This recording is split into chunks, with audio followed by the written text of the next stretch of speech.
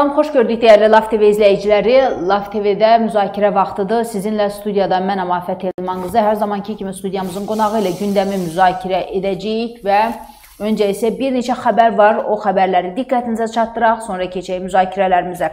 Putindən yeni bir xəbər gəldi. Onlar mühasirəyə alındıqlarını belə bilmirlər. Ukrayna Silahlı Qüvvələri bu ilin avqustundan Kursk vilayətində yerləşən bölmələrinə stabil nəzarəti itirib. Rusiya prezidenti Rusiya televiziyasının 60 dəqiqə proqramına müsahibəsində bunları deyib. Putin sözlərinə görə Ukrayna qüvvələri mühasirəyə alındıqlarını belə başa düşmürlər. Hazırda onun blokdan çıxarılmasına cəhdlər edilir və mühasirəyə alınan insanlar, o cümlədən əhatə olunduqlarını belə başa düşmürlər. Çünki bizdə olan məlumatlara görə qoşunlara sabit komandanlıq nəzarəti hal-hazırda itirib və Ukrayna ilə bağlı kompromisə hazıram, açıq deyirəm, utanmadan Putindən həm də belə bir şok açıqlama tirajlandı. Ukraynadakı münaqişənin həlli üçün ağlabatan kompromislər axtarmağa hazıram deyib Rusiya prezidenti. Eyni zamanda onun sözlərinə görə Türkiyəli tərəfdaşlar artıq dəfələrlə Ukrayna tərəfdən bəzi təşəbbüslərlə bağlı təkliflərlə Moskvaya müraciət ediblər. Putin sözlərinə görə Rusiya bu danışıqlara razılıq verəndə Ukrayna hər dəfə bundan imtina edib və bu iki dəfə baş verdi və Rusiya lideri xüsusi vurğulayır. O Rusiyanın kompromislər axtarmağa hazır olduğunu da bildirib. Lakin mən indi təfərrüatlara varmaq istəmirəm. Çünki substantiv danışıqlar yoxdur və qarşı tərəf bundan imtina edir. O danışıqlarla bağlı mövqeyini də belə müəyyən müəyyənləşdirib istənilən nəticə Rusiyanın xeyrinə olmalıdır. Mən açıq deyirəm, utanmadan və Putin əlavə edib ki, biz döyüş meydanında yaranan reallıqlardan çıxış etməliyik və Rusiya burada heç bir güzəştə getməyəcək. Yəni qətiyyətlə o fikirləri müəlliflik edib ki, heç bir mübadilə də olmayacaq. Və bu arada Əziz tamaşaçılarımız, Türkiyə prezidenti Rəcəb Tayyib Ərdoğandan açıqlama var. Putin Ukraynada davamlı atəşkəs istəyir və atəşkəs üçün istəyi də var. Türkiyə prezidenti bunlara da müəlliflik edib. Biz gördük ki, Putin də davamlı atəşkəsə sadiqdir və bunu artıq Türkiyə Xarici İşlər naziri Hakan Fidan və Rusiyanın Xarici İşlər naziri Sergey Lavrov İstanbulda keçirdikləri görüşdə də təsdiqləyiblər. Ərdoğandan söz düşmüşkən, Ərdoğan terrorçularla da bağlı maraqlı bir fakta açıqladı. Ankarada TUSAŞın binasında terakt törədən terrorçuların Suriyadan Türkiyəyə keçdiyi ortaya çıxıb və Türkiyə prezidenti Rəcəb Tayyib Ərdoğan bunlar da deyib. Bu məqsədlə gecə boyu 40 müxtəlif nöqtədə əməliyyatlar aparılıb və terrorçulara çox ağır zərbələr endirilib və Türkiyədə PKK-ya qarşı əməliyyat nəticəsində 176 nəfərin saxlandığı xəbərləri də var. Bu arada isə PKK-dan da etiraf var. Məsuliyyəti öz üzərlərinə götürüblər. PKK oktyabr ayının 23-də Ankarada törədilən terror aktına görə məsuliyyəti üzərinə götürüb sözçü məlumat yayıb. Xatırladaq ki, Türkiyədə TUSAŞın istehsal obyektində baş verən terrorda 5 nəfər həlak olub, 22 nəfər isə yaralanıb və bundan sonra Türkiyə qisas əməliyyatlarına başladı və terrorçuları məhv etdi və xeyli sayda terrorçu isə saxlanılıb və Türkiyənin Milli Müdafiə naziri Yaşar Gülər də e, bəyan edib ki, sonuncu terrorçu zərərsizləşdirilənə qədər bu əməliyyatlar davam edəcək. Türkiyə ordusu yeri gəlmişkən PKK-nın 120 hədəfini də darmadağın edib, video görüntülər də paylaşılıb. Və təbii ki, ötən günün müzakirə olunan mövzuları sırasında BRICS sammitində görüşlərdir və bu görüşlərdə səsləndirilən açıqlamalardır. Bununla da bağlı e, media müxtəlif e, xəbərlər yaymaqdadır əziz tamaşaçılarımız. Və nələr baş verir həm Azərbaycanda, həm də dünyada Ermənistan prezidenti Azərbaycanla sərhədlərin delimitasiyası üzrə komissiyaların reqlamentini də bu arada imzaladı və ötən gün Ermənistanın baş naziri Nikol Paşinyan e, sülh sazişi ilə də bağlı çıxışlar etdi. Və bütün bu məsələləri müzakirə edəcəyik. Biz də studiyamızın qonağı ilə birlikdə studiyamızın qonağı Ümid Partiyası sədrinin müavini Anar İsayevdir. Xoş gördük sizi Anar bəy. Xoş gününüz olsun Afət xanım.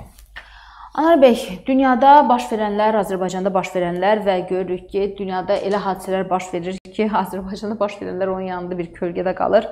Öncə elə Azərbaycandan danışaq. Bu dəqiqə Azərbaycanın bir nömrəli problemi deyərdik ki, Zəngəzur dəhlizinin açılması ilə bağlıdır. Eyni zamanda sülh sazişinin imzalanması ilə bağlı e, fikirlərdir. O 4 kəndimizlə bağlı müzakirələrdir ki, e, bu proseslər də aparılmalıdır. Hərçənd ki, son vaxtlar həmin o Qazağın 3 kəndi, Naxçıvanın bir kərki kəndi ilə bağlı e, müzakirələr səngisə də yenidən demarkasiya, delimitasiya məsələləri ilə bağlı Ermənistan tərəfindən də açıqlamalar gəlir. Öncə yarı qalmış yarımçıq qalmış bu problemlərlə bağlı fikirlərinizi bilmək maraqlıdır və bundan sonra keçək elə dünyada cərəyan edən hadisələrə. Buyurun. Deməli, e, Afət xanım, Zəngəzur dəhlizi ilə bağlı məsələlər e, bəli, yenidən gündəmə gəlibdi. Yəni bilirsiniz ki, bir müddət əvvəl e, bu gündəm məsələsi idi. Yəni demək olar ki, hər gün və bütün mətbuat və ölkələr arası Ermənistan Azərbaycan arasında bu barədə danışıqlar gedirdi və qarşı tərəflər öz mövqelərini ortalığa qoyurdu. Zəngəzur dəhlizini biz adlandırdığımız Zəngəzur dəhlizi biz dəfələrlə qeyd eləmişik bunu ki, e, bu orta dəhlizdir, yəni dünyanın e, güclərinin marağında olan, yəni logistik yol olaraq istifadə elədiyi, etmək istədiyi yollardan biri Zəngəzur dəhlizidir və Zəngəzur dəhlizi e, dayanmasının, yəni bu söz söhbətin, söhbətlərin dayanmasının, e, səngiməsinin əsas səbəblərindən biri e, yaxın şərqdə baş verən hadisələr, proseslər oldu ki, bildiyiniz kimi e, həm İranın İsraillə bağlı olan problemləri, e, yəni qarşılıqlı e, belə deyək, İranın İsrailə atəş açması raketlərdən və bundan sonrakı dövrdə e, deməli Zəngəzur dəhlizinə kimlərin nəzarət edəcəyi məsələsi gündəm olduğuna görə e, bu e, ciddi diskussiya mövzusuna çevrilmişdi ki, ya Rusiyanınmı, yoxsa e, Avropa Birliyininmi və yaxud da Ermənistan ordusununmu həmin yolu, həmin dəhlizə demək nəzarət məsələsi gündəm olmuşdu. Və həmçinin İranın bu məsələyə münasibətini bilirsiniz ki, İran da öz münasibətini bildirmişdi ki, o da mənim qırmızı cizgimdir deyərək e, üzərinə gedirdi. Yəni mümkünsüz görsənirdi Zəngəzur məsələsi. E, çünki İran deyirdi ki, əgər Zəngəzur dəhlizi açılarsa, e, bu birbaşa İrana təhdiddir. Nə üçün İrana təhdiddir? Ona görə ki, bilirsiniz ki, Ermənistanda Avropa Birliyinin müşahidə missiyası yerləşir və həmçinin Amerika Birləşmiş Ştatlarının hərbi kontingentinin müəyyən bir hissəsi orada yerləşir və onu da yeri gəlmişkən qeyd edeyim ki, son dövrlər Azərbaycan tərəfi də artıq ə, həmin o Avropa Birliyinin müşahidə missiyasından narazılığını ifadə etməyə başlayıbdı. Yəni son dövrlər artıq rəsmi surətdə Azərbaycan tərəfi də öz etirazını bildirib buna. Ə, bunun da səbəbləri var. Səbəblərindən əsas səbəblərindən biri ondan ibarət idi ki, o vaxt Azərbaycan Avropa Birliyinin müşahidə missiyasının e, Azərbaycan sərhədində gəlib yerləşməsinə Ermənistan tərəfdən 2 e, ay müddətinə, yəni nəzərdə tutulmuşdu ki, bu müşahidə missiyasının müddəti müharibədən sonrakı dövrdə 2 ay müddət nəzərdə tutulmuşdu. Lakin artıq e, xeyli müddətdir ki, müşahidə missiyası orada fəaliyyət göstərir. O, haqlı olaraq da Azərbaycan tərəfi ə, müşahidə missiyası adı altında hər hansı bir fəaliyyətlə məşğul olması barəsində artıq şübhələr yaranmağa başlayıbdı Azərbaycan tərəfində. Ə, çünki Azərbaycan Azərbaycan da istəmir ki, öz sərhədində fərqli dövlətlərin ordusu, qoşunu yerləşsin və ə, bugünkü gün həm də İran tərəfinin həmin qüvvələrin içərisində e, missiya adı altında, yəni müşahidə missiyası adı altında hər hansısa bir kəşfiyyat orqanının və s. və əlaxır olması, e, olmaması belə deyək də şübhəsi yaranır artıq. O nöqteyi nəzərdən e, qeyd etmək istəyirəm ki, bu Zəngəzur məsələsi ona görə bir müddət e, bir qədər e, pərdə arxasına keçdi, lakin bu günləri artıq yenidən aktuallaşdı. Bəli, e, mərhələnin, yəni sülh danışıqlarına başlananda ilk öncə e, bildiyiniz kimi çox sürətlə davam elədi bu həm e, delimitasiya, demarkasiya məsələləri, bildiyiniz kimi 12 e, kilometr hətta yəni artıq sərhəd xəttləri müəyyənləşmişdi və Qazağın 4 kəndi geri qaytarılmışdı. artıq ermənilər tərəfindən və söhbət siz deyən kimi Naxçıvanın Kərki və Qazağın digər e, deməli e, anklavda olan 3 kəndinin məsələsi gündəm olmuşdu. Bu artıq e, bu günləri də aktualdır. Yenidən aktuallaşmasının, yenə deyirəm, yenidən aktuallaşmasının səbəblərindən biri odur ki, artıq proses bir müddət səngimişdi. Lakin bildiyiniz kimi bu yaxınlarda Amerika Birləşmiş Ştatlarında dövlət katibi prezidentinin məktubu Azərbaycana gəldi.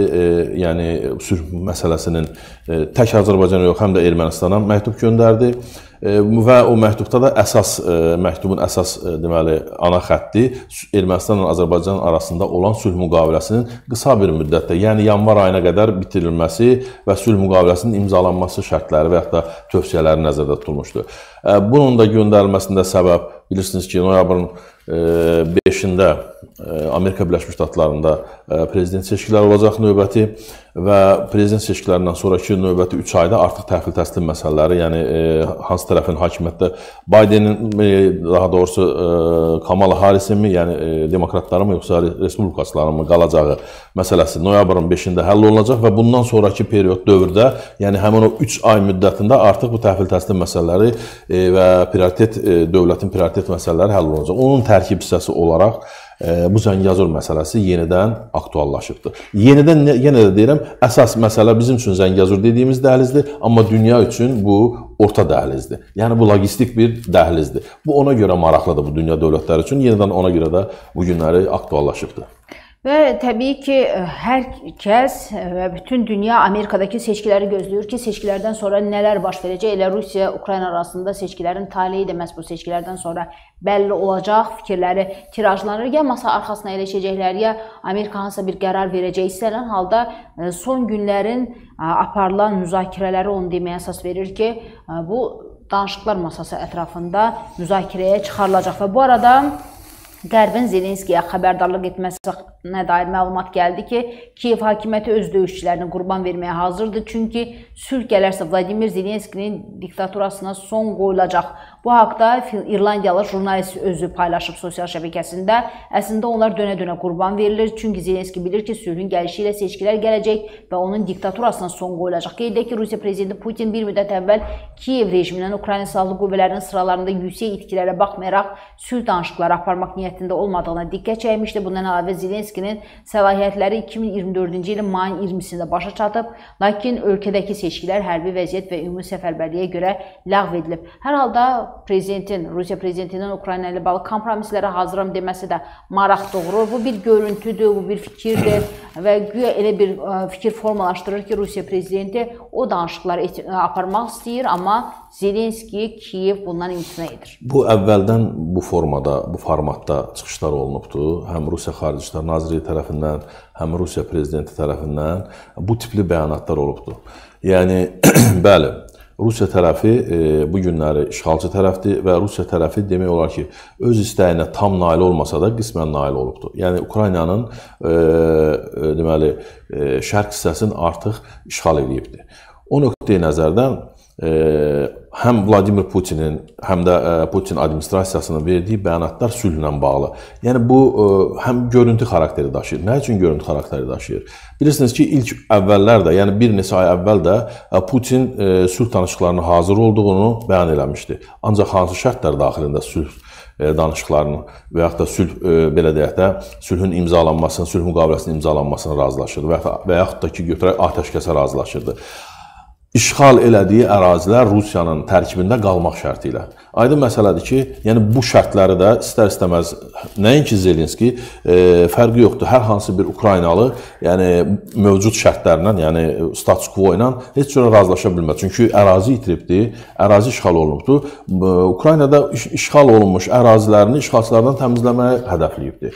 Lakin Rusiyada dediyim kimi öz hədəflərinə qismən çatıbdı. Yəni e, tutaq ki, Krımdır, Donbasdır, Luqanskdır və digər ərazilər artıq işğal eləyibdi, e, e, deməli öz ərazilərinə qatıbdı. Bu status quo şəraitində, bəli, Vladimir Putin doğru söyləyir. Yəni indiki şəraitdə sülhə və e, bugünkü status quo ilə e, Vladimir Vladimiroviç Putin çox razı, razıdır və e, bu format bu formatda da olmasının tərəfdarıdır.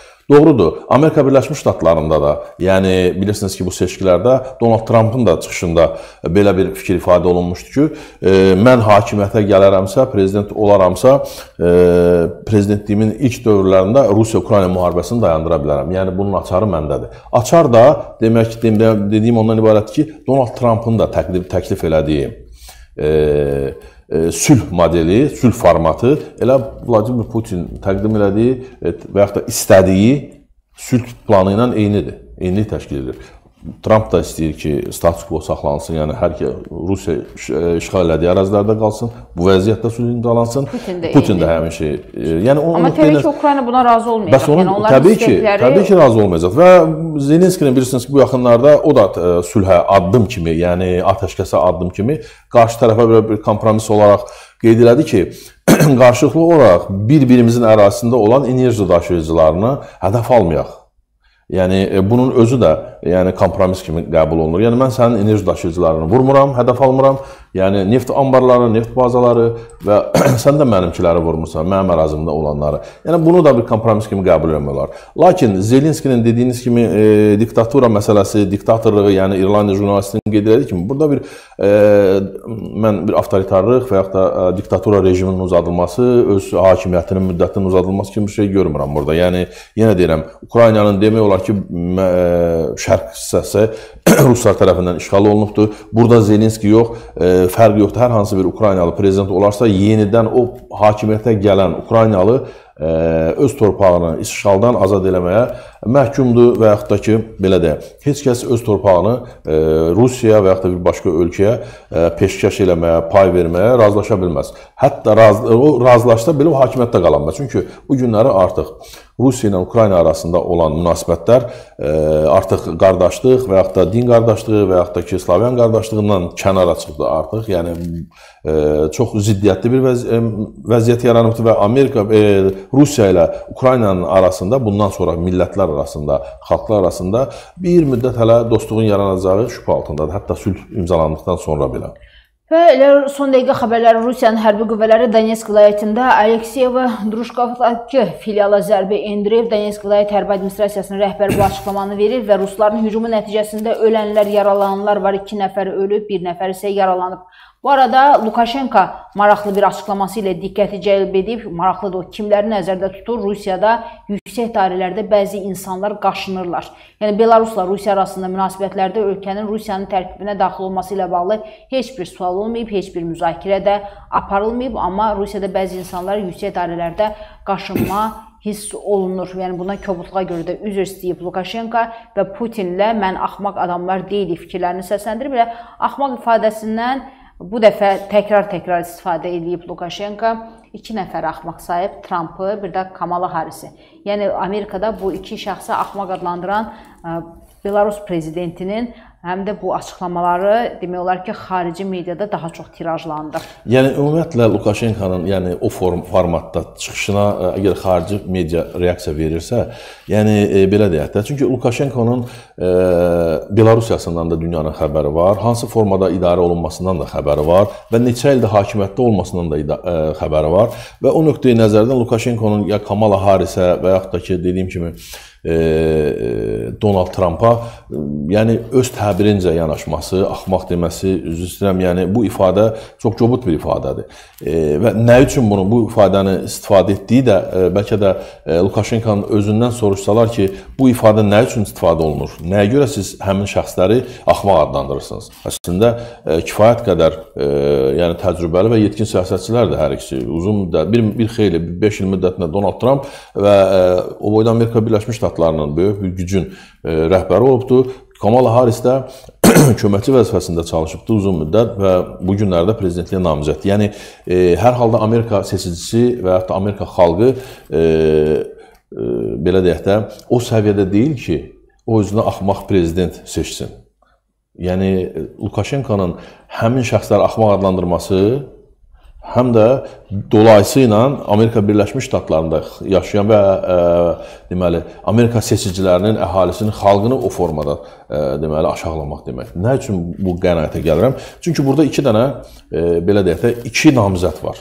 Və hər iki namizədi də Amerika Birləşmiş Ştatlarının seçiciləri özləri müəyyənləşdirirlər. Yəni bu nöqteyi nəzərdən, yəni Amerika Birləşmiş Ştatlarında bir ağıllı adam olmadı ki, onu özünə e, belə deyək, e, prezident seçsin, amma Lukashenkonun təbirincə e, axmaq. Yəni bilirsiniz, e, bu tipli məsələlər bir qədər Lukashenko e, emosional adamdır və ümumiyyətlə apardığı siyasətin də baxırsınız, baxırıq ki, e, Lukashenkonun siyasətində e, fərqli bir çalarlar, fərqli bir metodlar var. Yəni o bəlkə də Sovet, postsovet ölkələri içərisində e, Sovet ənənəsini, sosialist ənənəsini saxlayan, deməli, idarə etmə formasını saxlayan yeganə dövlətdir.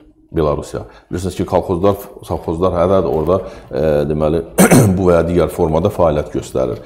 E, o nöqteyi nəzərdən mən e, Lukashenkonun həm e, bu Rusiya rəhbərliyinə, həm orada Amerika Birləşmiş Ştatlarının deməli Amerika Birləşmiş Ştatlarında keçiriləcək seçkilərə münasibəti bu da artıq e, Lukashenkonun ikili oyun oynadığının göstəricisidir. Yəni bir mənalı olaraq biz e, vizual olaraq görürük ki, Lukashenko Rusiyanın yanındadır, amma dərinə gedəndə fərqli bir deməli e, yöntəmlər ortalığa çıxa bilər. O nöqteyi nəzərdən deyirəm ki, e, Lukashenko da Lukashenko da qoşulmaq istəmir. Yəni bir mənalı, bir mənalı istəmir. Yəni. Belarus xalqı da istəmir. Yəni Kim Lukashenko istəsə də xalq istəməz. Xalq ə, e, Ukrayna ilə savaşa girməz. Hə. Amma çox təəssüflər olsun ki, ə, e, artıq görürük ki, Rusiyada bu ilk belə hal deyil. Bir neçə dəfə bu təkrarlanıb. Azərbaycanlılar zorla müharibəyə göndərilir.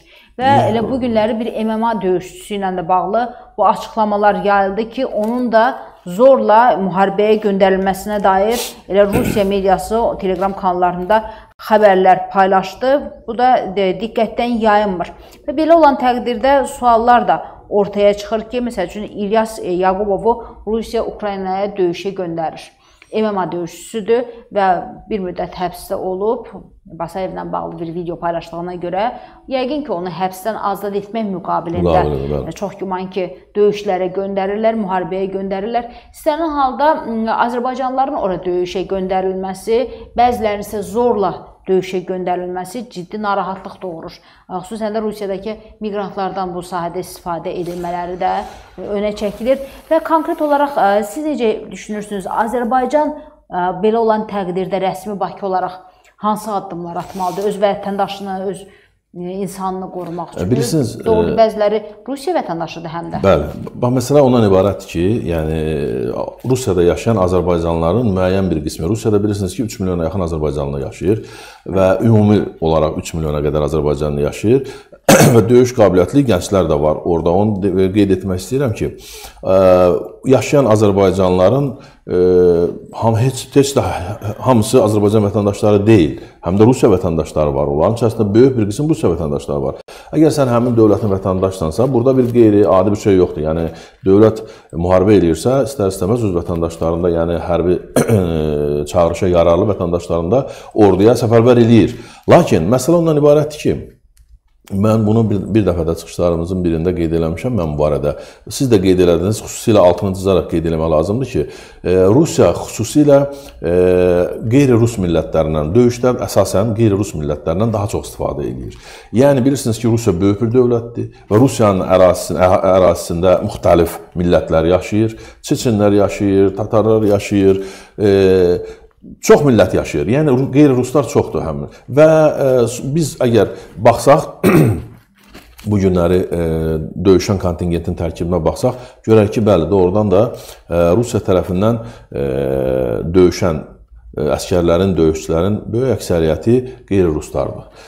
Həm Rusiya ərazisində yaşayan, öz ərazisində yaşayan vətəndaşlardır, həm də qeyd elədiyiniz kimi Orta Asiyadan, Azərbaycandan və digər ölkələrdən Rusiyaya işləməyə gedən şəxslərdir. Onlar da bilirsiniz ki, bir müddət Rusiyada qaldıqdan sonra artıq onlar elə də vətəndaşlıq almasa belə e, deməli Rusiya siz qeyd elədiyiniz kimi artıq məcburi qaydada. Yəni bilirsiniz, belə bir misal var, deyir, e,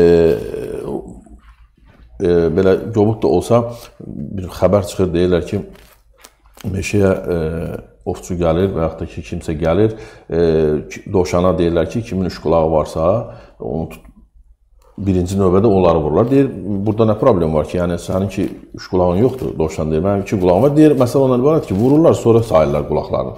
İndi e, Rusiyada da fərqi yoxdur. Bir dönəm Azərbaycanda da belə bir məsələ vardı. Yəni əvvəllər, yəni 90-cı illərdə belə bizim o, o dövrlərdə biraz çətinliyimiz vardı. Yəni bizdə hələ ordu quculuğu yox idi, amma Rusiyada bu konkret olaraq artıq dəb halını alıbdı. Bəli, küçələrdən məcburi qaydada e, hərbiyə cəlb edirlər insanları. Fərqi yoxdur. O baxmalar bunun milləti rusdur, ermənidir, Azərbaycanlıdır və yaxud da ki, Qazaxdır, Qırğızdır, fərq etməz hər birini orada deməli hərbiyə cəlb olunur. Azərbaycan dövləti bu bu, bu vəziyyətdə nə etməlidir? Qeyd edirsiniz ki, Azərbaycan tərəfi rəsmi Bakı buna hansı münasibət bəsləməlidir? Bəli, rəsmi olaraq Azərbaycan tərəfi səfirlik və e, səviyyəsində Rusiya e, rəsmiləri ilə danışıqlar aparmalıdır. Danışıqların da motivi söhbət Rusiyada yaşayan, Rusiya vətəndaşı olan azərbaycanlılardan yox, Rusiya vətəndaşı olmayan azərbaycanlıların səfərbərliyə cəlb olunmasına getməlidir ki, yəni onun qarşısı alınmalıdır bir mənalı şəkildə. Həm burada ə, e, bizim Daxili Xarici İşlər Nazirliyi bu məsələ ilə çox ciddi məşğul olmalıdır ki, Rusiya ərazisində yaşayan və ə, e, vətəndaşlığı olmayan azərbaycanlıların zorla hərbi hərbiyə çağırılması yol verilməzdir. Bir mənalı yol verilməzdir. Vətəndaşlığı olan e, hər hansı Azərbaycanlı biz e, Rusiya dövlətinə deyə bilmərik ki, sən öz vətəndaşı müharibəyə apar ya aparma. Vətəndaşlığı olmayanları bəli, e, Xarici İşlər Nazirliyi səviyyəsində, e, Rusiyada olan səfirliyimiz səviyyəsində e, bu məsələ araşdırılmalıdır və e, hüquqi, qanuni yollar müəyyənləşməlidir.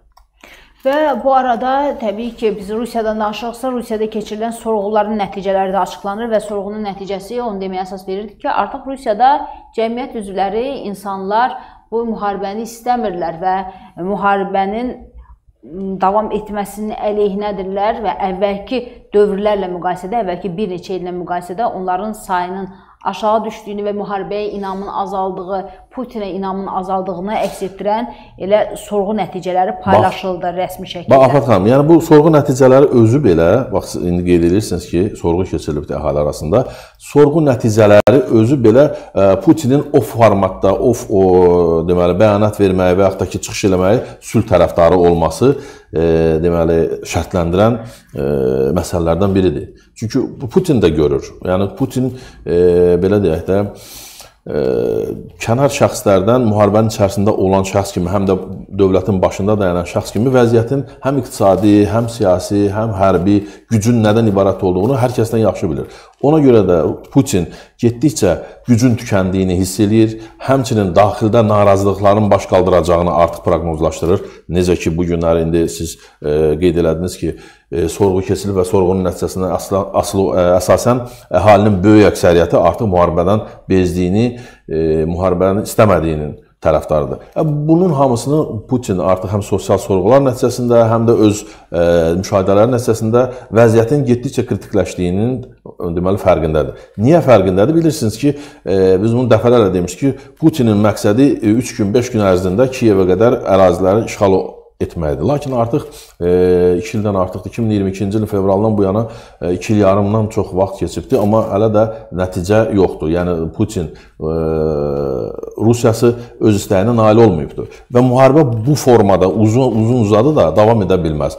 Ölkə istər-istəməz, yəni getdikcə həm iqtisadi cəhətdən, həm hərbi cəhətdən zəifləməyə başlayıbdır və nəticəni də mən sizə deyim ki, elə Amerika Birləşmiş Ştatları və Birləşmiş Qərbin də əsas məqsədi bundan ibarət idi ki, bu müharibə müharibə uzansın, müharibə uzandıqca da e, iqtisadi və hərbi cəhətdən Rusiya yavaş-yavaş çöksün.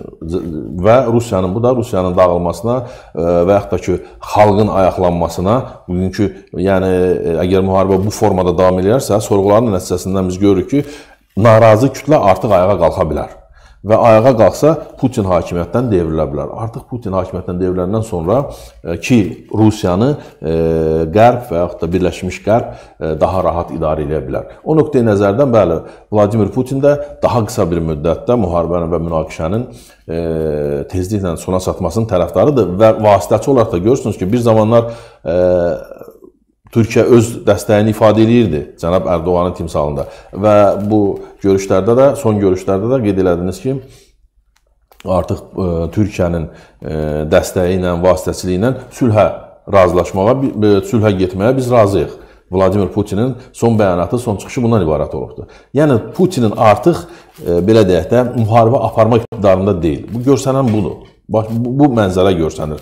Fərqli bir mənzərəni görmək mümkün deyil. Yəni e, Putin faktiki olaraq e, tam istəyinə nail olmasa da Ukraynanın şərq hissəsinin müəyyən hissəsinin adlarını sadaladığımız Dnepr, e, Donetskdir, e, digər ərazilər, bütün şərqi Ukraynanın hamısını e, işğal etdiyinə görə qismən öz istəyinə nail olubdur qismən öz istəyinə nail olubdur və hərbi və e, belə deyək də iqtisadi cəhətdən müharibəni davam elətdirməyəcəyi elətdirə bilməyəcəyi yəqinliyi formalaşdığına görə qısa bir müddətdə e, Ukrayna ilə sülh müqaviləsi və ya da atəşkəsin bağlanmasının tərəfdarıdır. Sülh müqaviləsi olmasa belə atəşkəsin. Və bu ə, e, müharibədən danışmışkən başqa bir ə, e, cəbhədən də xəbər gəlir İrandan məlumatlar gəlir, artıq başlanıldı, müharibə qərarı verildi, İsrail onsuz da İranı vuracaqdı. Yəni bunu bəyan etmişdi. Elə İsrailin bu gün müdafiə naziri də açıqlama verdi. Xamneydən isə orduya bir təlimat gəldi ki, hazırlaşın. Yəni İranın dinli lideri orduya İsrailin ölkəyə mümkün hücumuna cavab ssenariləri hazırlamaq təlimatı verib. Bu haqqda elə İsrailin Yerusəlim postu məlumatı paylaşıb. Qəzet yazır ki, Sepah bildirib ki, İranın cavabı İsrailin hücumunun miqyasından asılı olacaq. Yəni İsrail hücumu ancaq hərbi anbarlar və bazalarla məhdudlaşdırsa, Tehran cavab verməmək variantını seçəcək. Cavab verməmək. Bəli, cavab verməmək. Bununla belə əgər zərbə iri miqyaslı itki və dağıntılara səbəb olsa və ya İsrail nüvə, neft və ya enerji infrastrukturlarına hücum etsə, İran buna cavab verəcək. Və bu durumda indi yaxın şərqdə, xüsusən də Bəsrə körfəzində enerji təchizatı və daşımaları hədəf ala bilər. Hər halda Yerusəlim Post belə bir iddia ilə çıxış edir. Xatırladaq ki, İsrail İran oktyabrın 1-də ballistik raket hücumuna cavab verəcəyini də bəyan etmişdi. Və maraqlıdır, mütləq şəkildə bu olacaq. İran da buna hazırdır və İrana zərbələrin endirilməsi təbii ki, qonşumuzdur. Yəni Azərbaycana da təsirləri olacaq. Yəni bu da bizi narahat edən İranla, bir məqamdır. İranla, bəli, e, bilirsiniz ki, İran da bölgədə nüfuz sahibi və yaxud da güc sahibi olan dövlətlərdən biridir. Bizim bölgədən söhbət gedir. Yəni e, və uzun müddət ki, yəni İran İslam inqilabından sonrakı dövrdən ta bu günə qədər Amerika Birləşmiş Ştatları ilə və e, İsraillə İranın bir soyuq müharibəsi var. Uzun illərdən bəri və artıq bu soyuq müharibə artıq isti müharibə dövrünə, perioduna keçibdir, keçid edibdir. E, İranın ali dini liderinin də və prezidentinin də və ümumiyyətlə İran siyasi icmasının, e, deməli, cəmiyyəsinin də belə götürək. Artıq yəqinlik e, formalaşıbdı. Belə bir yəqinlik formalaşıbdı ki, İranın İsrail tərəfindən vurulması qaçılmazdır. Niyə qaçılmazdır? Bilirsiniz ki, e, İran İsrail ərazisinə raketlər atmışdı bir müddət əvvəl, lakin yəni effektiv raketlər, raket zərbələri e, biz sayılmadıq onu, çünki böyük əksəriyyəti gedib İsrailə gedib çatmamışdı, yolda vurulmuşdu və yaxud da heç gedib çata bilməmişdi və çatanlar da fərqli-fərqli istiqamətlərə getmişdi. Yəni e, hədəfinə vura bilməmişdi. Lakin son axırıncı dəfə İranın e, demək İsrailə nüvə e, üzr raketlərdən e, deməli ballistik raketlərdən uzaq məsafəli e, uzaq məsafəni hədəf alan raketlərdən atəşə tutması və bilirsiniz ki, son dövrdə bu yaxın dövrlərdə tarixi tam dəqiqliklə deyə bilmərəm, hərbi İsrailin hərbi bazası vurulmuşdu. İran tərəfindən vurulmuşdu. Yəni İran dediyimiz İranın proksi qüvvələri tərəfindən fərqi yoxdur. Orada Hizbullah olsun, Həmas olsun və yaxud da digər qüvvələr olsun. Yəni əslində onlar elə İran deməkdir. Yəni bu günləri e, İsraillə döyüşən həm də e, Hizbullahın və Həmasın timsalında İrandır. Və bu zərbələrdən sonra rəsmi e, İsrail İranın vurulması, vurulacağı ilə bağlı xəbərdarlıq elədi ki, yəni artıq geri dönüş yoxdur. Yəni İran mütləq şəkildə İsrail tərəfindən vurulacaq və son dövrlər Amerika Birləşmiş Ştatlarında dediyim, bayaq qeyd elədim, artıq İranın sərhədinə gəlib yaxınlaşması. Çünki bilirsiniz ki, Ermənistanda Amerika Birləşmiş Ştatlarının ən böyük səfirliyi, demək olar dünyada ən böyük səfirliyi ilə biri Ermənistanda yerləşir və bu son dövrlərdə də təlimlərdən sonra, yayda baş vermiş təlimlərdən sonra da artıq İranın Ermənistan ərazisində Amerika Birləşmiş Ştatlarının hərbi kontingentinin müəyyən bir hissəsi İran ərazisindədir. O nöqteyi nəzər Ermənistan ərazisindədir. O nöqteyi nəzərdən artıq Ermənistanla da İranın bilirsiniz ki, yaxınlığı sərhəd dövlətlərdir və E, Amerika Birləşmiş Ştatlarının ordusunun, qoşununun müəyyən bir hissəsi və yaxud da kəşfiyyatının, əks kəşfiyyatının artıq İran sərhədinə gəlib yaxınlaşması İran tərəfindən fərq edilməyə bilməzdi. Yəni bunlar görürlər məsələni və e, İsrailin də İranı vurmaq məsələləri özləri qeyd eləmişlər ki, əsasən neft bazaların və enerji daşıyıcıların əsas hədəf götürmüşdü ki, gələcəkdə əgər İsrail İrana zərbələr endirəcəksə, e, deməli, həmin obyektlərə zərbələr endirəcək. Nə üçün? Çünki bilirsiniz ki, e, İran uzun illərdir ki, Amerika Birləşmiş Ştatlarının embargo sanksiyaları altındadır. Yəni İranın da Rusiya kimi digər dövlətlərlə ticari əlaqələri demək olar ki, sıfır səviyyəsində digər Avropa dövlətləri ilə və bu sanksiyalar nəticəsində tək olaraq e, Allahın verdiyi təbii sərvət olaraq neftdən gələn gəlirlər vasitəsilə düzdür, İran özünün kənd təsərrüfatı sahəsində də deməli qabaqcıl ölkələrdən biridir. Yəni özünü təmin edən ölkələr sırasındadır, yəni istehsalına görə. Və Əsasən də gəlirinin müəyyən hissəsi, böyük hissəsi e, neft və neft məhsullarının satışından irəli gəlir. O nöqteyi nəzərdən İsrail də nəzərdə tutmuşdu ki, həm e, neft bazalarını, yəni gəlir mənbələrini, həm də e, deməli uranı zənginləşdirdiyi obyektləri hədəf olaraq götürmüşdü. Lakin son dövrlər uranın zənginləşdirdiyi, zənginləşdirdiyi ərazilərdən onun hədəfi çıxar, hədəf olaraq oranı çıxartmışdı. Ancaq neft sahələrin və neftdən e, neft bazaların ümumiyyətlə e, İranın e, deməli enerji sektorunu hədəf alacağını bəyan eləmişdi və bu da gözlənilir ki, Amerika Birləşmiş Ştatlarında yəqin ki, böyük ehtimal eləyirik ki, seçkilərdən sonrakı dövrdə dövrə təsadüf edəcəkdir. Bu çünki seçkilərə qədər Amerika Birləşmiş Ştatları İsrailə İranı vurmamaq kimi belə bir qeyri-rəsmi də göstəriş verilibdi. Yəni ki, Amerika Birləşmiş Ştatlarında noyabr ayının 5-də keçiriləcək prezident seçkilərindən sonra İran-İsrail münasibətlərində fərqli bir müstəvi ola bilər. Fərqli dediyimiz, yəni artıq soyuq müharibə xeyli müddətdir ki, dediyimiz kimi artıq fərqli e, həqiqi müharibəyə çevrilibdir və bu da bu e, deməli seçkilərdən sonra İra İsrail və İran arasında müharibə ola bilər. Və bu müharibənin də bəli qeyd elədiniz siz istəməyən tərəflərdən ən birincisi Azərbaycandır. Çünki bilirsiniz, bilirik ki, İranda 40 milyon Azərbaycan 40 milyona qədər Azərbaycanlı var, Azərbaycanlı yaşayır orada və e, qonşu dövlətdə əgər hər hansısa bir müharibə, çaxnaşma baş verərsə, istər-istəməz Azərbaycana da bu sirayət edəcəkdir. Birinci növbədə onu qeyd edeyim ki, mən e, İran öz açıqlamalarında qeyd eləmişdi ki, biz İsraili vura bilməsək də, İsrailin tərəfdaş dövlətlərini, yəni ilk növbədə Azərbaycanı hədəf alacaqdır. Eyni yəni, zamanda başqa digər dörd ölkədə Bəli, Birləşmiş Ərəb Əmirlikləri, Qatardır və s. bir, bir neçə dövlətləri hansılardakı enerji daşıyıcıları var, hardakı enerji resursları var ki, yəni əgər İran, İsrail, e, İran ərazisində olan bu enerji daşıyıcılarını, enerji mənbələrini vursa, neft anbarlarını vursa, biz də adekvat olaraq həmin adını saydığınız saydığımız ölkələrdə olan bazaları vuracaq. Niyə? Çünki həmin dövlətlər İranın təbirincə e, İsrailə dəstək verir, İsrailin ordusu yerləşir, İsrailin e, belə deyək də hərbi bazası həmin ərazilərdə yerləşir. Bu da İran tərəfin şey, e, deməli iddiasıdır. Və qeyd elədiyim kimi birinci növbədə orada hər hansı bir çaxnaşma və müharibə baş verərsə, bu sərhəd ölkəsi, sərhəd dövləti olaraq Azərbaycana və qardaş millət olaraq soydaşlarımızın orada olmasını nəzərə alaraq qaçqınlar ordusunun yaranmasına e, rəvac verəcək, verə bilər bu ilk növbədə. Onu nəzərə almaq lazımdır ki, yəni Azər bu İsrail-İran qarşıdurmasında itirən tərəflərdən biri də Azərbaycan ola bilər. Təbii ki, Azərbaycanın da mövqeyi ortadadır. Azərbaycan əslində qalsa bu məsələdə hər zaman fikrini bəyan edib ki, öz ərazisindən heç vaxt imkan verməyəcək ki, istifadə olunsun. Ehtiyac da yoxdur. Bu günləri Afət xanım, yəni bilirsiniz ki, ballistik raketlər var. Bu günləri 1000, 2000, 3000 kilometr məsafəni vura biləcək raketlər var və bu günləri e, belə deyək də hərbi sənayedə dünyada e, öndə gedən ölkələrdən istehsalına görə İsrail dövlətidir. Bu e, yeni texnologiyaların tətbiqində İsraildən öndə gedən başqa bir dövlət yoxdur. İsrailin yəni belə deyək, Azərbaycana müharibə etmək üçün Azərbaycana dəstəyin, Azərbaycanın dəstəyinə bir ehtiyacı yoxdur İsrailin. Çünki İsrail İranla belə deyək, ancaq havadan zərbələr endirə bilər. Yəni İsrailin İranla sərhəddə olmadığına görə ora quru qoşunları və yaxud da e, canlı qüvvə yeritmək kimi imkan yoxdur.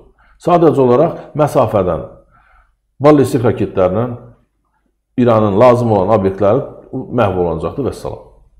Və e, Sepah komandanı da hədələdi. Son dəqiqə məlumatı gəldi ki, İran İslam İnqilabı Keşikçiləri Korpusunun, yəni Sepahın baş komandanı general Hüseyn Salami İsraili hədələyərək Amerikanın THAAD antiballistik raket sisteminə etibar etməməsi barədə xəbərdarlıq edib. Yəni Bu xəbərdarlıq artıq e, mediada yayıldı Sepah komandanı tərəfindən. Eyni zamanda bildirilir ki, açıqlamada İranın bu ayın əvvəldə həyata keçirdiyi hava hücumuna görə İsrailin cavabını gözlədiyi bir vaxta bu gəlib. Yəni həmin açıqlama və tadı güvənməyin. Hər dəfə mərmi atdığımız zaman biz sizdən daha çox atəş açacağıq. İranlı general onu da söyləyib ki, İranlı oktyabrın 1-də İsrailə raket hücumu ta sisteminin Yahudi dövlətinin qorunmaq iqtidarında olmadığının sübutudur və xatırladaq ki, Halbuki Amerika e, bu sistemi İranın oktyabrın 1-indəki hücumundan sonra İsraildə yerləşdirib və İsrail səhv edir, doğru vəd iki əməliyyatı onun müdafiə sistemlərinin uğursuzluğunu sübuta yetirdi. Ta sistemi də onu qorumağa müvəffəq olmayacaq. Sepah rəhbəri hər halda bu qənaətdədir və həm də birbaşa Normaldır. Amerika hədələnir. Normaldır. Yəni Sepahdan verilən açıqlama normal qəbul etmək lazımdır. Bunu ki, e, Sepah bilirsiniz ki, əsas e, İranın əsas e, qüvvələrindən biridir və e, o Sepahın generalında e, fərqli bir mövqe ortalığa qoymaq heç ağlımıza gətirmirəm. Çünki təhdid dolu e, fikirlər ifadə olunmalı, e, ona qarşı təhdid dolu belə deyək də fikirlər ifadə olunursa, bu da adekvat cavab verəcəkdir. Yəni bu bir, əslində bir, bir söz oyunudur. Hələ ki ortalıqda bir real nəticə yoxdur. Düzdür, doğrudur. E, son İranın İsrailə son hücumundan sonra raketlər, yəni biz e, belə deyək də İsrail həmişə e, deməli e, qalxan belə deyək də nə idi onun qübbədə, belə dəmir qübbə, dəmir, qübbə. dəmir qübbəsi var idi. Yəni onunla arxayın idi və son e, İranın son zərbələrindən sonra dəmir qübbə də müəyyən dərəcədə səhvliklərə yol verdi. Yəni bütün raketlərin hamısını e, zərərsizləşdirə bilmədi. Müəyyən raketlər artıq İsrail ərazisinə düşdü. Ondan sonra bəli Amerika öz havadan müdafiə sistemin gətirdi, İsraildə də yerləşdirdi ki, o da İsraili həm də bilirsiniz ki, müttəfiq dövlətdir. Yəni e, belə deyək ki, e, həm də Amerika Birləşmiş Ştatlarının bir yaxın şərqdə, orta şərqdə bir ayağıdır İsrail. O nöqteyi nəzərdən onun qorunması Amerikanın da prioritet məsələlərindən biridir. Havadan hava hücumlarından müdafiə üçün e, Amerika Birləşmiş Ştatları hava hücumundan müdafiə sistemini İsraildə də qurdu.